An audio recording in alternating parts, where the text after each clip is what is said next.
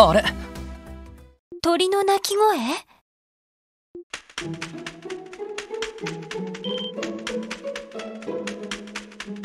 な、なんだ？し、白い鷹？いや、はやぶさみたいだね。おいおいなんだってこんな街のど真ん中に？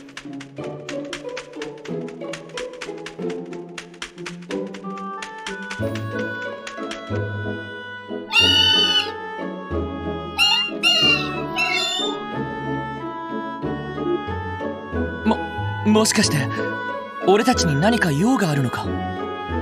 ザイトが話しかける時と同じような感じだけど。ああティオスケがいたら何喋ってんのか分かりそうだが。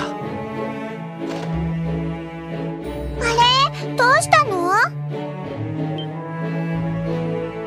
あ白い鳥だ。くちばしも尖っててかっこいい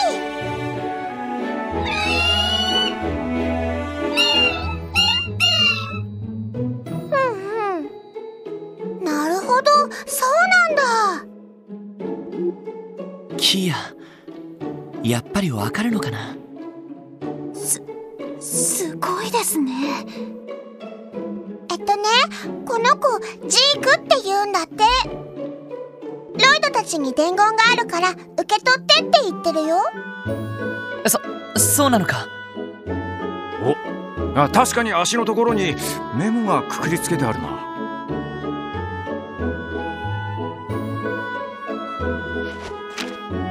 背景クロスベル警察特務支援課様。皆様の評判を耳にしてぶしつけですが連絡させていただきました。もしお時間があれば内密に相談に乗っていただけないでしょうか。本日夕刻クロスベル空港待合テラスにてお待ちしております。追伸。もしご都合がつかない場合もご返答はいただかなくて結構です。これって内容といい差出人不明といい怪しすぎますけどでも、綺麗な筆跡だし、文章も丁寧な感じだね。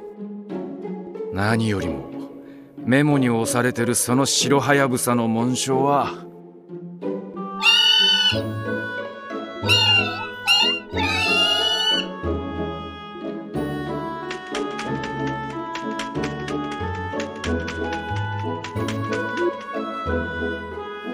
えっと、キーヤ彼はなんて？あー行くか行かないかはロイドたち次第だって。そうか。どうするの？まさかそんなわけはないとは思うんだけど。ああさすがにな。でも白はやぶさの紋章って今の子もそうだったみたいですし イヤが上にも期待しちゃうよね。せっかくのお誘いだ。ここはお受けしておこう。まだ夕方まで時間はあるから、用事を済ませてからでもいい。わかったわき緊張してきましたまあさすがに清掃していく必要はないだろうが それじゃあ用が済んだら、南口のクロスベル空港に行こうか。よくわからないけどみんな頑張ってね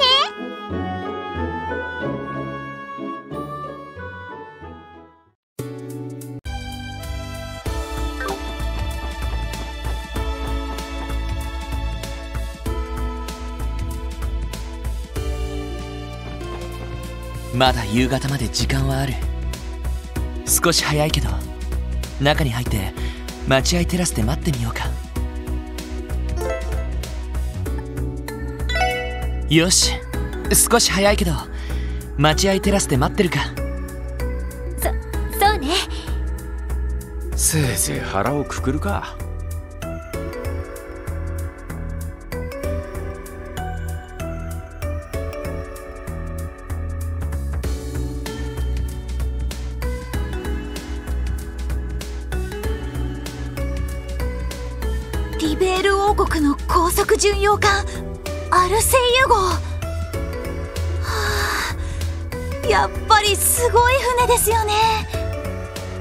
ZCF の名前を轟かせた世界最高速の飛行船ね。未だに自己記録を更新し続けて他を寄せつけていないそうだけど。そんでリベールの王女様が乗ってきた機関ってわけだ。クローディア姫だったかやんごとなき方って感じだよな。正確には王女じゃなくて王太女だけどね。つまりはリベール王国の次期女王陛下ってわけさ。はあなるほどね。まさか呼び出したのが本人ってわけはないよな。さすがにわからないわね。ベルに聞いてみれば殿下のスケジュールくらいはわかると思うけど。その必要はないみたいだよお待たせした。特務支援課の諸君だな。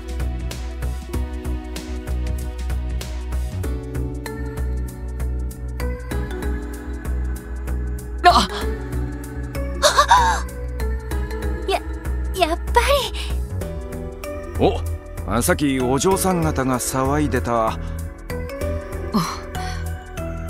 あこれは失礼。除幕式でご一緒だったかな申し遅れた。リベール王国軍王室親衛隊ユリア・シュバルツ巡査だ。クローディア殿下の命によりこれより諸君をアルセイユへ案内させていただく。どうぞついてきてくれ。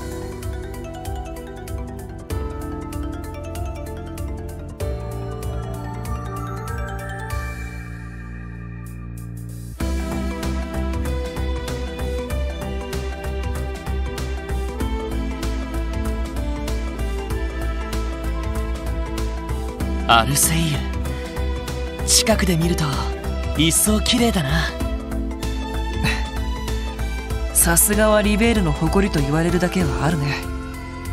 まさか王太女殿下と会うことになるなんて。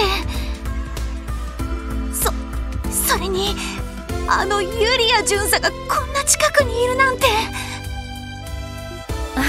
落ち着いてノエルさん。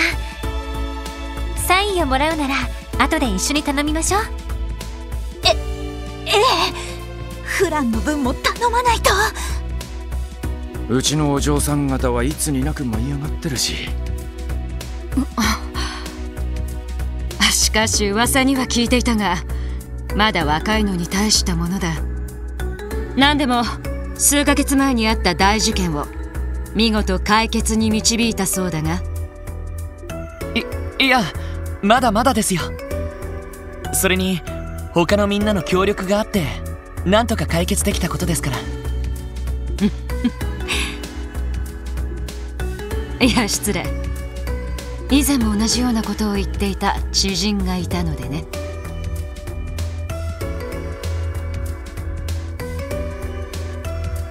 ようこそ巡洋艦アルセイユへ。ちなみに機密保持のため艦内は無線が通じないようにしている最中だが不都合があれば解除するから遠慮なく申し出てほしい。わわかりました。さすが最新鋭の軍艦ですね。それでは失礼します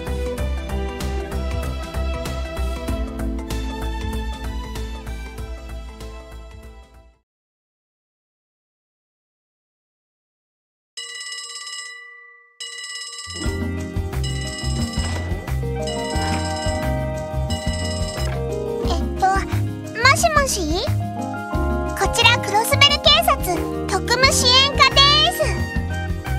あキーヨですか？あキーヨだ。またかけてくれたんだ。昨日と違って普通の動力通信ですが。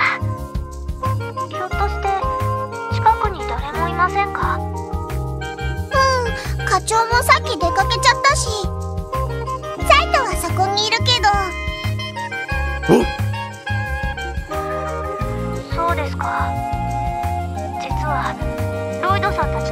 に繋がらなくて。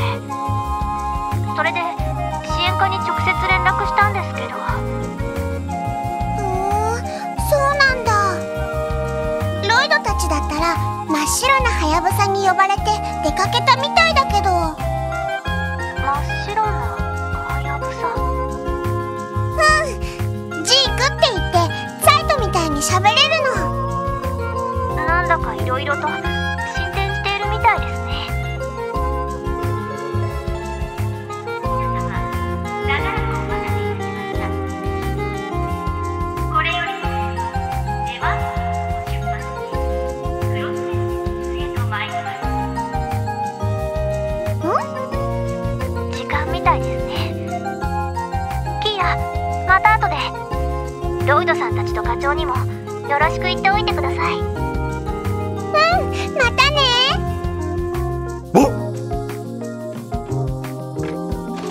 おう帰ったぞ。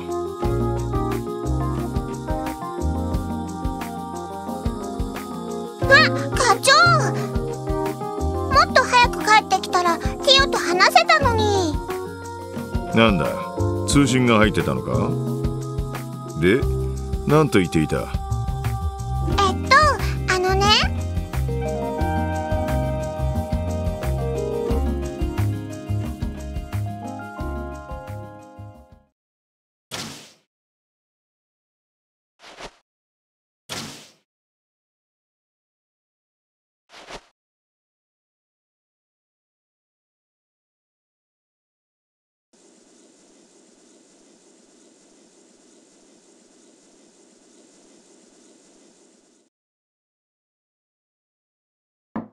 殿下、失礼します。特務支援課の諸君をお連れしました。どうぞお通ししてください。さあ、どうぞ中へ。はいそれでは失礼します。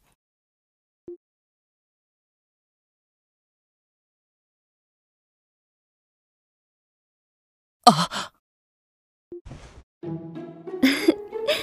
はじめまして。リベール王国王太女のクローディアと申します。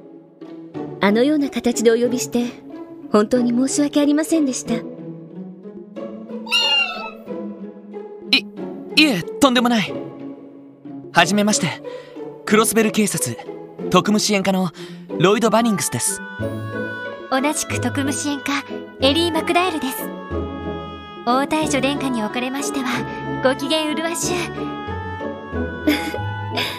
エリーさんのことは、実はいろいろ聞いていまして、お会いできて嬉しいです。そうなのですか？ええ。先ほど、おじい様のマクダエル議長閣下とお話しする機会をいただきました。それと、マリア・ベルさんとは何度かお話しする機会がありまして、以前、リベールにも留学されていた経験がおありだとか、はい3ヶ月ほどの滞在でしたがご挨拶もできずに失礼しました。いえいえ、こちらこそ。どうも。ランディ・オルランドス。ノエル・シーカーです。よろしくお願いします。ワジヘミスフィア。麗しの姫君にお会いできて光栄だよ。ようこそおいでくださいました。本当なら、この場でもう一人ご紹介したい方がいたのですが、その、少し遅れてらっしゃるみたいで。心配には及ばないよこの音ってどこかで聞いたようなおいおいまさか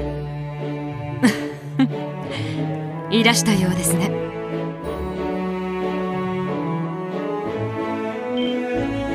え？ももしかしてさっきの支援要請の？あらすでにご面識が？ええその。とんだサプライズだね。諸君先ほどは失礼した。クローディア殿下も遅れて申し訳ありませんでした。いつものようにこのたわけがいろいろと首を突っ込んでいましてま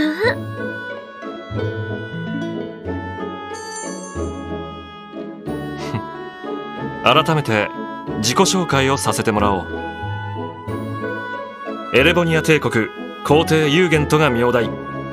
オリバルト・ライゼ・アルノールさもちろん真の姿は不正室の天才にして漂白の演奏家オリビエ・レンハイムではあるがね。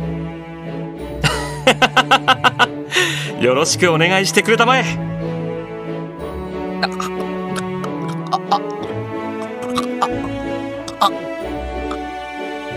やありえなくねえか。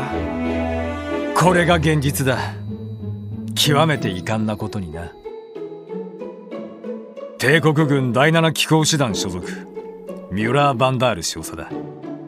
クローディア殿下のお招きで主ともども参上させてもらったよろしく頼む。特務支援課の諸君。なるほど。エステルたちから聞いたんですか？皆さんがエステルさんたちと冒険を共にした仲だったなんて。つくづくとんでもないコンビだよな。まあそんなわけで気を楽にしてくれたまえ僕たちとエステル君たちはリベールの異変に立ち向かった仲間。そして君たちとエステル君たちもクロスベルの異変に立ち向かった仲間。つまり僕たちも運命の仲間同士というわけさ。いいやそう単純にはいかないかと。その正直恐れ多いです。でも本当に気を楽になさってください相談したいことがあってお呼びしたのも確かですがそれ以上に皆さんとお近づきになりたいと思っていたんです。姫殿下。おお感激っす。恐縮です。しかしエステル君たちもどうやらクロスベルで楽しく過ごしていたようだね。テーマパークなんてのもあるし僕も1ヶ月ほど滞在してお前のスケジュールは向こう半年埋まっているがな。ミラー君のいけず夢見たっていいじゃない。まあそんなわけでこちらは君たちについて一通り知っている状態だ。それを踏まえていくつか君たちに伝えたいことがあるんだが。はい。本題というわけですね。何でも通商会議に関する気になる情報をお持ちだとか。はい。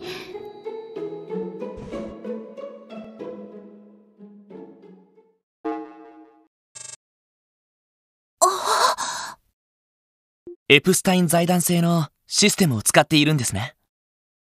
ああ。この間の情報処理システムは財団のものを導入しているからね。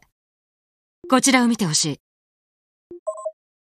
エレボニア帝国最初ギリアス・オズボーン閣下ですね。ま鉄血宰相でいいさ。彼の人となりを知らない君たちにここで悪口を言うつもりはない。ただ一つだけ前提として知っていてほしいことがあるんだ。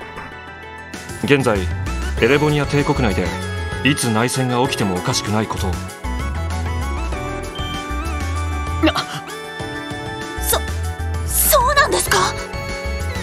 残念ながら事実だ。具体的には宰相を中心とする帝国に新たな中央集権体制を作り上げようとする革新派。そして有力貴族を中心とする古い貴族制度を維持し続けようとする貴族派。この2つによる対立が行き着くところまで行ってるのさ。革新派と貴族派の対立。話は聞いていましたけど相当深刻な状況みたいですね。うん。察するところ殿下は中立の立場なのかな？中立というより第三の道を行こうと思っている。まあどちらの陣営からもうさんくさいコウモリに見られてしまう切ない立場なんだけどね。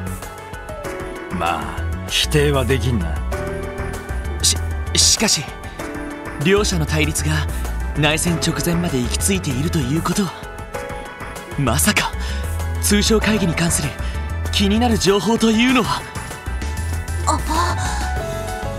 なるほどね。君の懸念通りだ貴族派の有力者である海援校の方で動きがあった。どうやらこの通商会議中オズボーン最小を狙うテロリストをクロスベルに送り込むらしい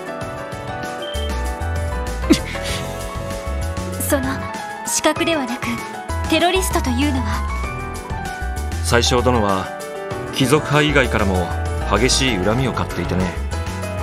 国内外で弾圧された勢力がテロ組織を結成しているんだ。そんな連中を貴族派が体よくミラを与えて利用しているわけさ。そういうことか。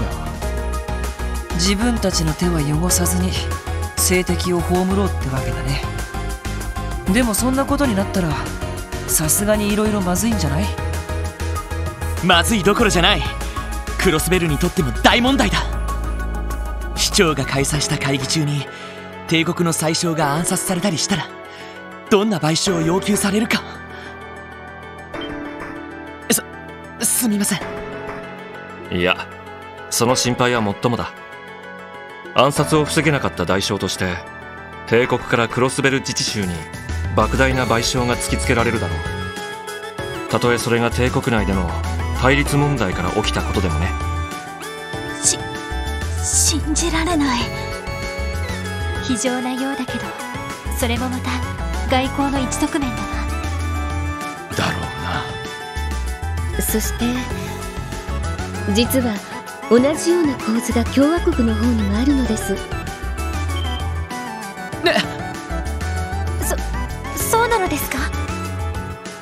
ユリアさんお願いします。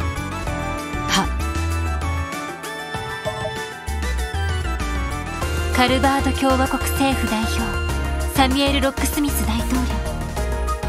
こっちのおじさんも恨みを抱えちゃってるとか。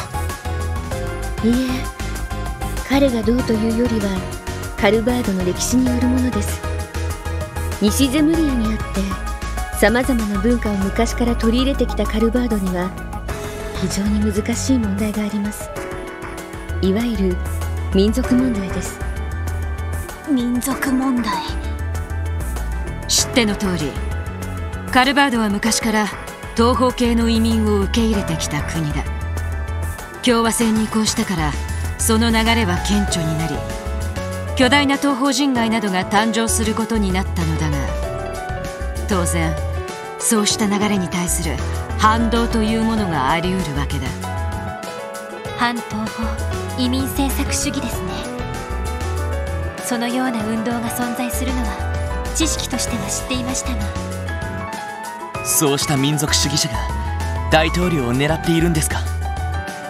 ええ。やはり潤沢な資金源を持つスポンサーがいるらしく最新の武装を供与されたテロリストが動いているという情報が入っていますそいつは厄介っすね。お話は分かりました。ですがどうしてこのような重大な話を自分たちに？確かに自治州政府に直接伝えた方がいいんじゃないの？伝えたくても伝えられない事情がある。つまりそういうことですねエリー君の言う通りさ。オズボーン最小にしてもロックスミス大統領にしても当然自分たちを付け狙う勢力が動いているのは知っているはずだ。にもかかわらずクロスベル政府にその事実は全く伝えられていない。そこにどのような思惑があるのか現時点では分かりませんが。ただそのような状況でこちらが帝国と共和国の裏事情を勝手に伝えるわけにもいきません。そして僕も皇族とはいえ帝国政府の方針に干渉はできない。そこで姫殿下の提案で君たちを呼んだというわけさ。なるほど。つまりここでの話はあくまで非公式というわけですね。ええ。共通の友人を持つ者同士のお茶の席でのちょっとしたおしゃべり無論そこで聞いた噂話をどなたにお伝えしようと自由です。そういうことですか。いやはや思った以上に大胆つうか。優雅なお姫様の割になかなかのやり手みたいだね。ちょちょっと和く君いくらなんでも失礼なんじゃ。いいんですクロスベルを取り巻く状況はますます混迷を深めている。少しでも見通しを良くするためには悪あがきをするしかありませんから。ただでさえ厄介な面々に情報をコントロールされているみたいだしね。エステル君方面のコネくらいは活用させてもらわないと。厄介な面々。多分ご存知だと思います。レクター・アランドール氏とキリカ・ローラン女子の2人です。なるほど。先ほどの情報がクロスベル政府にほとんど伝わっていないのは。多分その2人の情報操作だろう。キリカ助手はもともとリベールで遊撃士協会の受付をしていた人物だが千里眼というべき慶眼の持ち主でね。そのくらいの情報操作ならば苦もなくやってのけるはずだ。なるほど。ギルドの方でも聞きましたが。味方ならともかく敵に回したら一番厄介なタイプだな。そしてレクター・アランドール。経歴不詳。出身も不明だが一つ明らかになっていることがそれはアイアンブリードと呼ばれるメンバーの一人だということあアイアンブリード？また大層な呼び名だね。どうやら鉄血宰相と関係のあるメンバーみたいだけど。宰相殿が拾い上げたという子飼いの若者たちらしくてね。癖はあるが恐ろしく有能でさまざまな工作を行っているようだ。貴族派からは最大限に警戒されているみたいだね。アイアンブリード単なる情報証拠以上に大変そうな相手みたいね。加えて現在クロスベルに居座るヘイユエと赤い星座の問題もある。それぞれ政府とつながりがあるようだからよもや会議を狙うとは思えないが。だが不可解な動きを見せているのはこちらにも伝わっている。それについては君たちの方が実情には詳しいかもしれないはい。お返しと言ってはなんですが現状で分かっていることについてお伝えします。